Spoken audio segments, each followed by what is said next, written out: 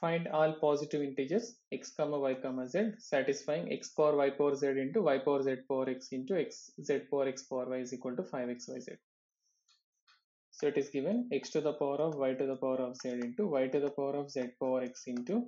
z to the power of x to the power of y is equal to 5 times of xyz. So I can write x to the power of y power z divided by x into y power z power x divided by y into z power x power y divided by z is equal to 5. So that is x to the power of y to the power of z minus 1, y to the power of z power x minus y, sorry minus 1 and z to the power of x to the power of y minus 1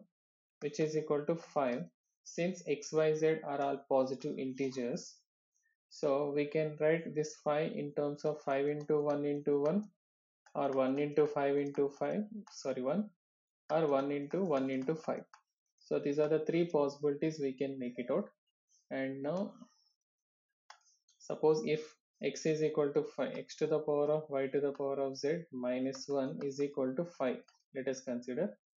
So this is 5 to the power of 1 so 5 to y to the power of z minus 1 is equal to 1 so which implies means here when x is equal to 5 here and y to the power of z is equal to 1 plus 1 2 so that is 2 to the power of 1 which implies y is equal to 2 and z is equal to 1 since x y z are integers. So this is the one possibility we are getting 5 comma 2 comma 1 now if i can consider y power z y to the power of z power x minus 1 is equal to 5 so that we can write y is equal to 5 and z is equal to and z is equal to 2 and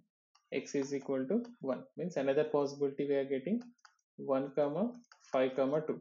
so similarly the other possibility you can get by taking z to the power of x to the power of y z to the power of x to the power of y minus 1 is equal to 5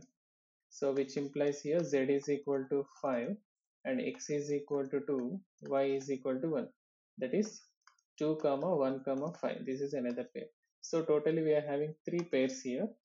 5 comma 2 comma 1 is one pair one possibilities of xyz and 1 comma 5 comma 2 is another possibility. And 2 comma 1 comma 5 is a third possibility. So total